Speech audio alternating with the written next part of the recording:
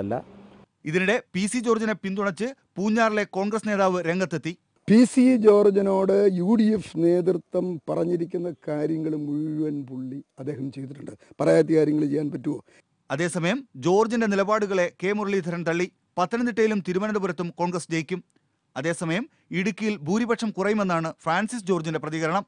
കസ്തൂരിരംഗൻ പ്രശ്നം തക്ക സമയത്ത് പരിഹരിക്കാതിരുന്നത് പ്രശ്നങ്ങൾ സങ്കീർണമാക്കി. കോൺഗ്രസിന് സ്വാധീനമുള്ള പല ബൂത്തുകളിലും അല്ലെങ്കിൽ കോൺഗ്രസിന്റെ പല ഭാരവാഹികളും ഈ തെരഞ്ഞെടുപ്പിൽ വേണ്ട പോലെ പ്രവർത്തിച്ചിട്ടില്ല എന്നുള്ള ആക്ഷേപം കേരള കോൺഗ്രസുകാർക്കുണ്ട് ഇരുപത്തിരണ്ടിന് ചേരുന്ന K P C C executive തെരഞ്ഞെടുപ്പ് വിലയിരുത്തും പരാതികളിൽ അന്വേഷണവും നടത്തും. ഏഷ്യാനെറ്റ് ന്യൂസ് തിരുവനന്തപുരം. കടകംപള്ളി ഭൂമി തട്ടിപ്പിനിരയായവരുമായി ജില്ലാ കളക്ടർ ഇപ്പോൾ ചർച്ച നടത്തുകയാണ്. കരം സ്വീകരിക്കാത്തതിനെ തുടർന്ന് കഴിഞ്ഞ ദിവസം തട്ടിപ്പിനിരയായവർ സമരം നടത്തിയിരുന്നു. വിവരങ്ങളുമായി കെ ജി കമലേഷ് ചേരുന്നു. കമലേഷ് ചർച്ച ഇപ്പോഴും തുടരുകയാണോ? എന്താണ് വിവരങ്ങൾ? രജനി കളക്ടർ സുപ്രധാനമായ രണ്ട് നിർദ്ദേശങ്ങൾ മുന്നോട്ട് വെച്ചു കഴിഞ്ഞു. കടകംപള്ളിയിൽ ഭൂമി തട്ടിപ്പിനിരയായ ഈ ഒരു വിഷയത്തിൽ പരാതിക്കാരുടെ ഇപ്പോൾ നിവേദനം സ്വീകരിച്ചുകൊണ്ട് അദ്ദേഹം പറഞ്ഞത് മൂന്നാഴ്ചക്കുള്ളിൽ ഈ വില്ലേജിൽ റീസർവേ നടത്താം. റീസർവേ മൂന്നാഴ്ചകളിൽ പൂർത്തിയായ ശേഷം യഥാർത്ഥ സ്ഥിതി പുറത്തു കൊണ്ടുവരാൻ കഴിയും. അത് മാത്രമല്ല കരം സ്വീകരിക്കുന്നത് സംബന്ധിച്ചുകൊണ്ട് അദ്ദേഹം ഉപാധി വെച്ചത് ഇരുപത്തി അഞ്ചിന് മുമ്പ് ഇക്കാര്യത്തിൽ ഒരു തീരുമാനം ഉണ്ടാകും പുതിയ ഉത്തരവിറക്കാം എന്നുള്ളതാണ്. രണ്ട് കാര്യങ്ങൾ പരിശോധിക്കണം. കരം സ്വീകരിക്കരുത് സ്വീകരിക്കരുത് എന്ന് സംബന്ധിച്ചുകൊണ്ടുള്ള എന്തെങ്കിലും ആ, ഉത്തരവ് റവന്യൂ വകുപ്പിന്റെ ഭാഗത്തുനിന്നുണ്ടോ എന്ന് പരിശോധിക്കണം. അഡ്വക്കേറ്റ് ജനറലുമായി സം- സംസാരിച്ച ശേഷം ഏതെങ്കിലും തരത്തിലുള്ള കോടതി ഉത്തരവും ഇക്കാര്യത്തിൽ കരം സ്വീകരിക്കുന്നതിനെതിരായി ഉണ്ടോ എന്നും പരിശോധിച്ച ശേഷം ഇരുപത്തി അഞ്ചിന് മുമ്പ് തീരുമാനമെടുക്കാവുന്ന ജില്ലാ കലക്ടർ ഉറപ്പ് നൽകിയിരിക്കുകയാണ്. പരാതിക്കാർ ഏതാണ്ട് ഈ ഒരു നിർദ്ദേശത്തോട് അനുകൂലമായ ഒരു നിലപാടാണ് സ്വീകരി സ്വീകരിച്ചത്. ഇപ്പോൾ ഈ യോഗം പൂർത്തിയായിരിക്കുകയാണ് പ്രശ്നങ്ങളൊന്നുമില്ലാതെ ഈ ഒരു തെളിവെടുപ്പ് പൂർത്തിയായിരിക്കുന്നു എന്നുള്ളതാണ് ഏറ്റവും പ്രധാനപ്പെട്ട വാർത്ത. രണ്ട് എം എൽ എമാരും V Sivankutty M A Wahid V Sivankutty M L A അതുകൂടാതെ മുൻ മന്ത്രി എം എം വിജയകുമാറും ഈ ഒരു ചർച്ചയിൽ പങ്കെടുത്തിരുന്നു. ഇപ്പോൾ സമാധാനപരമായി ഈ തെളിവെടുപ്പ് ചർച്ച പൂർത്തിയായിരിക്കുന്നു. ശരി ത്രിപുരയിലും ഗോവയിലും പോളിംഗ് മുപ്പത്തിയെട്ട് ശതമാനം കടന്നു. അസമിൽ മുപ്പത്തിരണ്ട് ശതമാനവും സിക്കിമിൽ ഇരുപത്തിയാറ് ശതമാനവും ആണ് ഇതുവരെ രേഖപ്പെടുത്തിയിരിക്കുന്നത്. നാലാം ഘട്ട വോട്ടെടുപ്പിൽ ഏഴ് ലോക്സഭാ മണ്ഡലങ്ങൾക്ക് പുറമെ സിക്കിമിലെ നിയമസഭാ മണ്ഡലങ്ങളിലേക്കും ഇന്ന് വോട്ടെടുപ്പ് നടക്കുന്നുണ്ട്. സുരക്ഷാ ഭീഷണി ഉണ്ടായിരുന്നെങ്കിലും വടക്കുകിഴക്കൻ സംസ്ഥാനങ്ങളിലെ പോളിംഗ് ബൂത്തുകൾ രാവിലെ തന്നെ സജീവമായി. അസമിലെ ഓട്ടോണോമസ് മേഖലയിൽ ഏപ്രിൽ ആദ്യവാരം മുതൽ നടന്നുവന്ന സമരം പിൻവലിച്ചതും വോട്ടർമാർക്ക് ആശ്വാസമായി. മൂന്ന് മണ്ഡലങ്ങളിലേക്കുള്ള വോട്ടെടുപ്പ് നടക്കുന്ന അസമിൽ കോൺഗ്രസും ബി ജെ പിയും എ ഐ യു ഡി എഫും തമ്മിലാണ് പ്രധാന പോരാട്ടം. സംസ്ഥാനത്തെ ആദ്യഘട്ട വോട്ടെടുപ്പിൽ എൺപത്തിനാല് ശതമാനം പോളിംഗ് രേഖപ്പെടുത്തിയ ത്രിപുരയിൽ ഇന്നും പോളിംഗ് ബൂത്തുകൾ സജീവമാണ്. സി പി എമ്മിന്റെ സിറ്റിംഗ് എം പിയായി ജിതേന്ദ്ര ചൌധരിക്കെതിരെ കോൺഗ്രസിന്റെ സജിത്ര ദേബർമയാണ് മത്സരരംഗത്തുള്ളത്. സിക്കിമിലും കോൺഗ്രസും ബി ജെ പി മത്സരരംഗത്തുണ്ടെങ്കിലും രണ്ട് പ്രാദേശിക പാർട്ടികൾ തമ്മിലാണ് പ്രധാന മത്സരം. പുതിയ പാർട്ടിയായ സിക്കിം ക്രാന്തികാരി മോർച്ചയുടെ പ്രകടനമാണ് ജനങ്ങൾ ഉറ്റുനോക്കുന്നത്. കോൺഗ്രസിന്റെ സിറ്റിംഗ് സീറ്റായ സൗത്ത് ഗോവയിലും ബി ജെ പിയുടെ സിറ്റിംഗ് സീറ്റായ നോർത്ത് ഗോവയിലും ആം ആദ്മി പാർട്ടിയും ഇക്കുറി മത്സരരംഗത്തുണ്ട്. ഗോവ മുഖ്യമന്ത്രി മനോഹർ പരീഖർ ആദ്യ മണിക്കൂറിൽ തന്നെ വോട്ട് രേഖപ്പെടുത്തിയിരുന്നു. അസം ഒഴികെ മറ്റ് മൂന്ന് സംസ്ഥാനങ്ങളിലും ഇന്ന് വോട്ടെടുപ്പ് അവസാനിക്കുകയാണ്. അക്രമ സാധ്യത കണക്കിലെടുത്ത് വടക്കുകിഴക്കൻ സംസ്ഥാനങ്ങളിൽ സായുധ പോലീസ് സേനയടക്കം കനത്ത സുരക്ഷാ സന്നാഹങ്ങളാണ് ഒരുക്കിയിരിക്കുന്നത്. ഏഷ്യനെറ്റ് ന്യൂസ് ദില്ലി. കോൺഗ്രസ് ഉപാധ്യക്ഷൻ രാഹുൽ ഗാന്ധി അമേഠി മണ്ഡലത്തിൽ അല്പസമയത്തിനകം നാമനിർദ്ദേശ പത്രിക സമർപ്പിക്കും. സംസ്ഥാനത്ത് ബാർ ലൈസൻസ് പുതുക്കി നൽകിയതിൽ സർക്കാർ വിവേചനം കാട്ടിയെന്ന് ഒരു വിഭാഗം ത്രീ സ്റ്റാർ ഹോട്ടൽ ഉടമകൾ സുപ്രീംകോടതിയെ അറിയിച്ചു. നിലവാരമില്ലാത്ത ടു സ്റ്റാർ ഹോട്ടലുകൾക്ക് ബാർ ലൈസൻസ് പുതുക്കി നൽകിയെന്നും സുപ്രീംകോടതിയിൽ നൽകിയ സത്യവാങ്മൂലത്തിൽ ഹോട്ടൽ ഉടമകൾ വ്യക്തമാക്കുന്നു. നിലവാരമില്ലാത്തതെന്ന് സി എ ജി കണ്ടെത്തിയ നാനൂറ്റി പതിനെട്ട് ബാറുകളെ ഒഴിവാക്കി സംസ്ഥാനത്ത് ബാറുകളുടെ ലൈസൻസ് കഴിഞ്ഞ ഏപ്രിൽ നാലിന് സർക്കാർ പുതുക്കി നൽകിയിരുന്നു. ലൈസൻസ് പുതുക്കിയപ്പോൾ സുപ്രീംകോടതിയുടെ ഇടക്കാല ഉത്തരവിന്റെ അടിസ്ഥാനത്തിൽ ലൈസൻസ് ലഭിച്ച ഹോട്ടലുകളോട് അനീതി കാട്ടിയെന്നാണ് ആരോപണം. ഡാറ്റാ സെന്റർ കൈമാറ്റ കേസിൽ വിവാദ ദല്ലാൾ ടി ജി നന്ദകുമാറിനെ സിബിഐ വീണ്ടും ചോദ്യം ചെയ്യും. പ്രതിപക്ഷ നേതാവ് വി എസ് അച്യുതാനന്ദന്റെ മുൻ പേഴ്സണൽ അസിസ്റ്റന്റ് എ സുരേഷിനെയും പരാതിക്കാരനായ ജോമൻ പുത്തുംപുരക്കലിനെയും ചോദ്യം ചെയ്തതിൽ നിന്ന് ലഭിച്ച വിവരങ്ങളുടെ അടിസ്ഥാനത്തിലാണ് നന്ദകുമാറിനെ സിബിഐ വീണ്ടും ചോദ്യം ചെയ്യുന്നത്. ഡേറ്റാ സെന്റർ റിലയൻസിന് കൈമാറിയതിൽ വിവാദ ദല്ലാൽ ടി ജി നന്ദകുമാർ അന്ന് മുഖ്യമന്ത്രിയായിരുന്ന വി എസ് അച്യുതാനന്ദനെ സ്വാധീനിച്ചിരുന്നോ. ഡേറ്റാ സെന്ററുമായി ബന്ധപ്പെട്ട ഫയലുകളെക്കുറിച്ച് അറിയാമോ എന്നീ രണ്ട് ചോദ്യങ്ങളാണ് സുരേഷിനോട് സി ബി ഐ ആരാഞ്ഞത്. നന്ദകുമാർ വി എസിനെ കണ്ടിരുന്നെന്നും എന്നാൽ എന്തിനാണെന്ന് തനിക്ക് അറിയില്ലെന്നുമായിരുന്നു സുരേഷിന്റെ മറുപടി. ഇതുമായി ബന്ധപ്പെട്ട ഫയലുകൾ വി എസിന്റെ ഓഫീസിലെ ഐ ടി ഉദ്യോഗസ്ഥരാണ് കൈകാര്യം ചെയ്തിരുന്നതെന്നും ഓഫീസ് സംബന്ധമായ കാര്യങ്ങളെക്കുറിച്ച് തനിക്ക് വിവരങ്ങളൊന്നുമില്ലെന്നും സുരേഷ് സി ബി ഐയോട് പറഞ്ഞു. എന്നാൽ നന്ദകുമാറിനെ നേരത്തെ ചോദ്യം ചെയ്തപ്പോൾ ഇതുമായി ബന്ധപ്പെട്ട വ്യത്യസ്ത വിവരങ്ങളാണ് സി ബി ഐക്ക് ലഭിച്ചത്. അതിനാലാണ് ഒരിക്കൽ കൂടി നന്ദകുമാറിനെ ചോദ്യം ചെയ്യാൻ സി ബി ഐ ഉദ്ദേശിക്കുന്നത്. ഡേറ്റാ സെന്റർ കൈമാറ്റം നടന്ന കാലയളവിൽ കോടിക്കണക്കിന് രൂപ നന്ദകുമാറിന്റെ അക്കൗണ്ടിലേക്ക് വന്നിരുന്നതായി സി ബി ഐ കണ്ടെത്തിയിരുന്നു. ഈ പണം എങ്ങനെ വന്നു എന്ന് വ്യക്തമായി മറുപടി നൽകാനും നന്ദകുമാറിനായിരുന്നില്ല. കഴിഞ്ഞ മാസം ഇരുപതിനാണ് നന്ദകുമാറിനെ ഡേറ്റാ സെന്റർ കേസിൽ സി ചോദ്യം ചെയ്യുന്നത്. ഡേറ്റാ സെന്റർ കേസ് സംബന്ധിച്ച പരാതിയിൽ കഴമ്പുണ്ടെന്ന് ബോധ്യപ്പെട്ടാൽ എഫ്ഐആർ രജിസ്റ്റർ ചെയ്ത് വിശദമായ അന്വേഷണം നടത്താനാണ് സി ആലോചിക്കുന്നത്. R P Vinod Asianet news Kochi.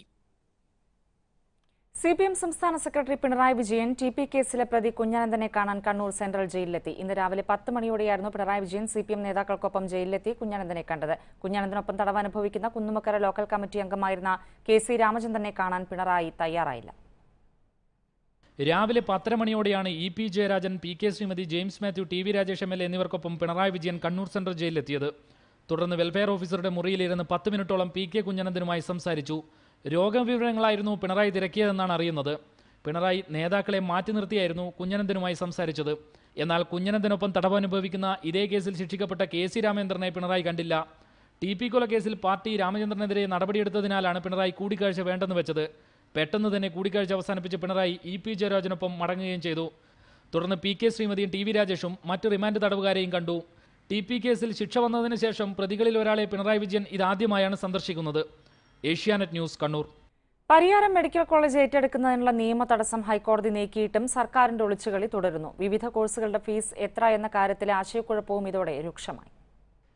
ഹൈക്കോടതിയിലെ കേസുകളുടെ നിയമതടസ്സം നീങ്ങിയാൽ മെഡിക്കൽ കോളേജ് സർക്കാർ ഏറ്റെടുക്കുമെന്നായിരുന്നു മുഖ്യമന്ത്രി നേരത്തെ പ്രഖ്യാപിച്ചത്. തിരുവനന്തപുരം സ്വദേശി ഡോക്ടർ അജിത് അടക്കമുള്ളവരുടെ പരാതിയായിരുന്നു ഇതിന് കാരണം. ഈ പരാതിയിൽ സർക്കാർ കോടതിയിൽ സമർപ്പിച്ച സത്യവാങ്മൂലത്തിൽ മെഡിക്കൽ കോളേജ് ഏറ്റെടുക്കാമെന്ന് കോടതിയെ അറിയിച്ചു. ഈ സത്യവാങ്മൂലം പരിഗണിച്ചാണ് കേസുകളെല്ലാം കോടതി തള്ളിയത്. കേസുകൾ തീർപ്പായതോടെ ഇനിയൊരു ഉത്തരവിലൂടെ സർക്കാരിന് മെഡിക്കൽ കോളേജ് ഏറ്റെടുക്കാം. സർക്കാർ ഏറ്റെടുത്താലും പരിയാരം മെഡിക്കൽ കോളേജിന്റെ വിദ്യാർത്ഥി പ്രവേശനത്തിന്റെ കാര്യത്തിൽ കാത്തിരിക്കുന്നത് സർവത്ര ആശയക്കുഴപ്പമാണ്. പരിയാരം സർക്കാർ ഏറ്റെടുക്കുമെന്ന് പ്രഖ്യാപിച്ചെങ്കിലും ഉത്തരവിറങ്ങാത്തതിനാൽ ഈ വർഷവും മുപ്പത്തിയെട്ട് പി ജി സീറ്റുകളിലെ പ്രവേശനം സ്വാശ്രയ രീതിയിലാണ് മാനേജ്മെന്റ് നടത്തുന്നത്. ക്ലിനിക്കൽ വിഭാഗത്തിലെ എൻ സീറ്റുകളിലെല്ലാം കോടിക്കണക്കിന് രൂപയാണ് മാനേജ്മെന്റ് ഫീസായി വാങ്ങുന്നതും എന്നാൽ പ്രവേശനം നേടിക്കഴിഞ്ഞാൽ വിദ്യാർത്ഥികൾ ഉടൻ കോടതിയെ സമീപിക്കുമെന്നറിയുന്നു സർക്കാർ ഏറ്റെടുത്ത കോളേജിൽ സ്വാശ്രയ നിരക്കിൽ ഫീസ് നൽകി പഠിക്കാൻ ഇവർ തയ്യാറല്ല. കൂടാതെ മുൻകൂറായി ഫീസ് നൽകി പഠിക്കുന്ന നിലവിലുള്ള കുട്ടികളും കോടതിയെ സമീപിക്കുമെന്നറിയുന്നു ഇക്കാര്യത്തിൽ എന്ത് നടപടി സർക്കാർ സ്വീകരിക്കുമെന്നാണ് ഇനി അറിയേണ്ടത്. പി ജി പ്രവേശന നടപടി പൂർത്തിയാകുന്നതിന് മുൻപ് തന്നെ സർക്കാർ ഈ അനിശ്ചിതത്വം നീക്കുമെന്ന പ്രതീക്ഷയിലാണ് വിദ്യാർത്ഥികൾ. ഏഷ്യാനെറ്റ് ന്യൂസ് കണ്ണൂർ. സംസ്ഥാനത്ത് വെളിച്ചെണ്ണയ്ക്ക് റെക്കോർഡ് വില. കിലോയ്ക്ക് നൂറ്റി അറുപത് രൂപയായി. നാളികേരത്തിന്റെ ഉൽപ്പാദനം ഗണ്യമായി കുറഞ്ഞതാണ് വില കയറാൻ കാരണം. ഒരു മാസത്തിനകം വെളിച്ചെണ്ണ വില ഇരുന്നൂറ് രൂപയാകുമെന്നാണ് ഈ രംഗത്തുള്ളവരുടെ കണക്കുകൂട്ടൽ. തെങ്ങ് കയറാൻ ആളെ കിട്ടാനില്ല. കിട്ടിയാൽ തന്നെ തോന്നിയ കൂലി. രണ്ട് വർഷം മുമ്പ് തേങ്ങയുടെ വിലയിലുണ്ടായ ഇടിവ് കാരണം പലരും കൃഷിയും നിർത്തി. കഴിഞ്ഞ ഒരു മാസത്തിനിടെ നാളികേര ഉൽപാദനം അൻപത് ശതമാനമാണ് കുറഞ്ഞത്. എന്നാൽ ആവശ്യം ക്രമാതീതമായി കൂടുകയും ചെയ്തു. തേങ്ങ പൊടി പൗഡർ ഉണ്ടാക്കുന്ന കമ്പനിക്കാർ അതുപോലെ തന്നെ അന്യ അന്യരാജ്യങ്ങളിലേക്കും പച്ചത്തേങ്ങയുടെ ആവശ്യകത കൂടുതലാണ്. വെളിച്ചെണ്ണ വില വരും ദിവസങ്ങളിൽ ഇനിയും ഉയരുമെന്നാണ് വിലയിരുത്തൽ. വില കൂടുന്നതോടെ മായം കലർന്ന വെളിച്ചെണ്ണ വിപണിയിൽ അധികമായി എത്തുമെന്ന ആശങ്കയും ഉയരുന്നുണ്ട്. ഇതൊഴിവാക്കാൻ സർക്കാർ അടിയന്തരമായി ഇടപെടണമെന്നാണ് വ്യാപാരികളുടെ ആവശ്യം. പ്രിയ ഇളവള്ളിമഠം ഏഷ്യാനെറ്റ് ന്യൂസ് കൊച്ചി. കാലാവധി കഴിഞ്ഞ മരുന്നുകളുടെ തീയതി തിരുത്തിയ ശേഷം സർക്കാർ ആശുപത്രികൾ വഴി വിതരണം ചെയ്യാൻ മെഡിക്കൽ സർവീസസ് കോർപ്പറേഷന്റെ നിർദ്ദേശം. ഇതിനായി കോർപ്പറേഷന്റെ ഐ ടി വിഭാഗം നൽകിയ നിർദ്ദേശത്തിന്റെ പകർപ്പ് ഏഷ്യാനെറ്റ് ന്യൂസിന് കിട്ടി. കാലാവധി കഴിഞ്ഞ ഈ മരുന്നുകൾ ഇതിനോടകം വിതരണം ചെയ്തുവെന്നാണ് സൂചന. അതേസമയം ഐ ടി വിഭാഗം നടത്തിയ ഇടപെടലിനെ കുറിച്ച് അറിയില്ല എന്നാണ് കോർപ്പറേഷൻ എം ഡിയുടെ വിശദീകരണം. Asianet news exclusive.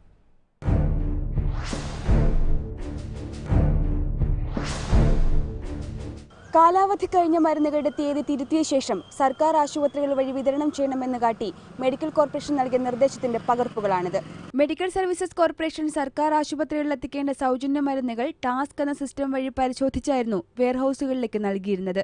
കാലാവധി കഴിയാറായ മരുന്നുകൾ നൽകാൻ ഈ സംവിധാനത്തിലൂടെ കഴിയില്ല. എന്നാൽ സംവിധാനത്തെ നിയന്ത്രിക്കുന്നവർക്ക് തിരുത്തൽ വരുത്താൻ സാധിക്കും. ഈ സംവിധാനം മനസ്സിലാക്കിയാണ് കോർപ്പറേഷന്റെ ഐ വിഭാഗം കത്ത് നൽകിയത്. കാലാവധി കഴിയാറായ മരുന്നുകളുടെ തീയതി മുപ്പത് ഒൻപത് രണ്ടായിരത്തി പതിനാലിലേക്ക് മാറ്റണമെന്നായിരുന്നു നിർദ്ദേശം. ഇങ്ങനെ മാറ്റിയാൽ സിസ്റ്റം വഴി തന്നെ മരുന്നുകൾ വിതരണം ചെയ്യാം. കോടിക്കണക്കിന് രൂപയുടെ മരുന്നുകൾ കെട്ടിക്കിടന്ന് പാഴാകുന്നുവെന്ന ആരോപണവും ഒഴിവാക്കാം.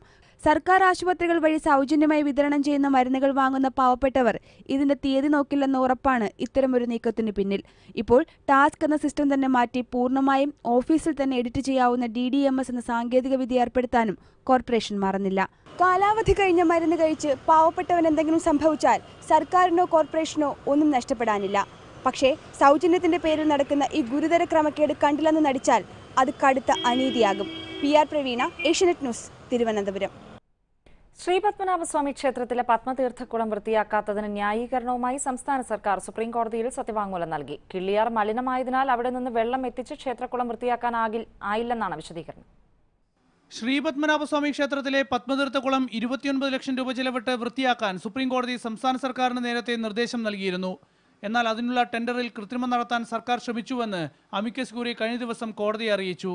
ഇരുപത്തിയൊൻപത് ലക്ഷം രൂപയ്ക്ക് നൽകേണ്ട ടെൻഡർ ഒരു കോടി പത്തൊൻപത് ലക്ഷം രൂപയ്ക്കാണ് സർക്കാർ നൽകാൻ ശ്രമിച്ചത്. താൻ ഇടപെട്ടാണ് അത് തടഞ്ഞത് എന്നും അമിക്കസ് ക്യൂറി വ്യക്തമാക്കിയിരുന്നു. അതിന് പുറകെയാണ് ക്ഷേത്രക്കുളം വൃത്തിയാക്കാത്തതിനുള്ള സർക്കാരിന്റെ ന്യായീകരണം. കിള്ളിയാറിൽ നിന്ന് വെള്ളം കൊണ്ടുവന്ന് ക്ഷേത്രകുളം വൃത്തിയാക്കാനാണ് ആലോചിച്ചത്. എന്നാൽ കിള്ളിയാർ തന്നെ മലിനമായി കിടക്കുന്നത് കൊണ്ട് അതിന് സാധിക്കില്ല എന്നാണ് സുപ്രീംകോടതിയിൽ സമർപ്പിച്ച സത്യവാങ്മൂലത്തിൽ സർക്കാർ വിശദീകരിക്കുന്നത്. ക്ഷേത്രത്തിലെ പാത്രക്കുളം കയ്യേറി ജ്വല്ലറികളും കടകളും നിർമ്മിച്ചതായി വിദഗ്ധ സമിതി ചൂണ്ടിക്കാട്ടിയിരുന്നു. എന്നാൽ പാത്രക്കുളം ഒഴിപ്പിക്കേണ്ടത് സർക്കാരല്ല എന്നും അത് ക്ഷേത്രം ഭരണസമിതിയാണെന്നും സത്യവാങ്മൂലത്തിൽ പറയുന്നു. ഏഷ്യാനെറ്റ് ന്യൂസ് ദില്ലി.